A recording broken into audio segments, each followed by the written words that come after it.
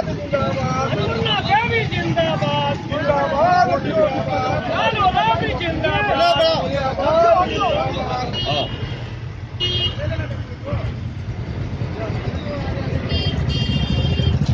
और कल से कार्यक्रम हम लोगों का गढ़वा के डंडा प्रखंड से शुरू हो रहा है।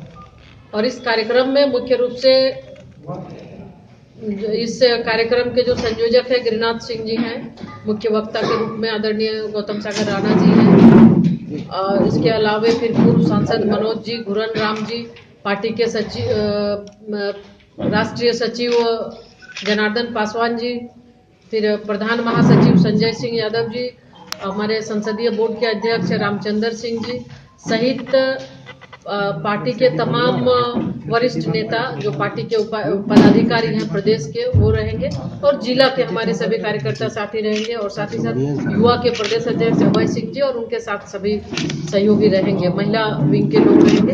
तो सभी लोग मिलकर इस कार्यक्रम की शुरुआत कल से जो होने जा रहा है तो हम लोग गाँव गाँव जैसे डंडा प्रखंड से शुरू करेंगे, विभिन्न प्रखंड मुख्यालय में लोगों से संवाद करेंगे और जो हमारे राष्ट्रीय अध्यक्ष जी की जो उनका जो संदेश है, उस संदेश को गाँव तक पहुंचाएँगे।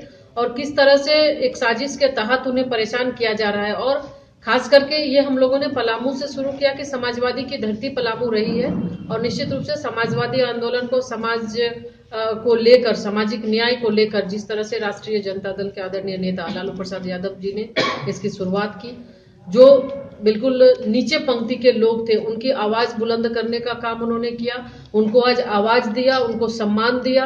और आज किस उनके वजह से आज ये परेशानी उनको झेलनी पड़ रही है तो ये सारी बात उन तक हम लोग पहुंचाएँगे और साथ ही साथ ये लोकसभा चुनाव का आगाज़ भी है।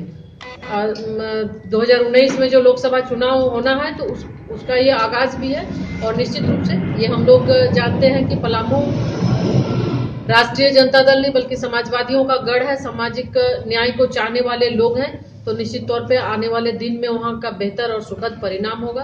तो हम उनके बीच जाकर अपनी भावना को अपने अपने राष्ट्रीय अध्यक्ष जी की बात को वहाँ तक रखेंगे।